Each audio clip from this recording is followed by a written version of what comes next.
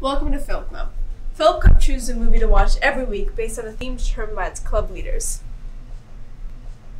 Everyone watches the film on their own Not Julia! or joins in to watch online with other members during the week.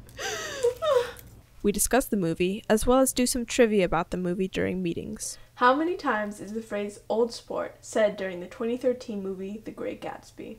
Film Club is all about expanding your film knowledge, so every week the club leaders provide a few movies within the theme that are important or iconic. My favorite was uh, Portrait of a Lady on Fire. I love obviously like it's an amazing like romance movie, but also just like the way it looks and the way that the characters like act with each other. I think it stands out from other romance movies. Um, I think the chemistry was really strong and the way the characters interact with each other. I think it reminded me of like some of the best romance movies I've ever seen. It's definitely up there, the top romance movies. I think the genre that it was for was for like LGBTQ movies, so it's obviously a really good one of those. Approchez-vous.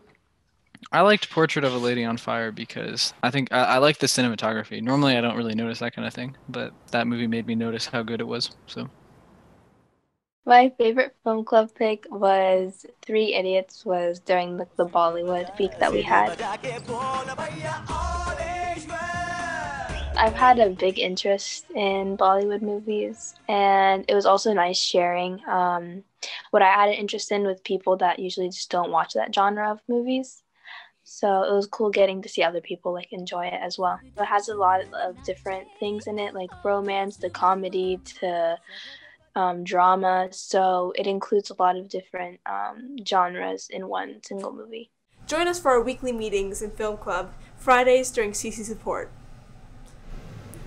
Good morning, and in case I don't see you, good afternoon, good evening, and good night.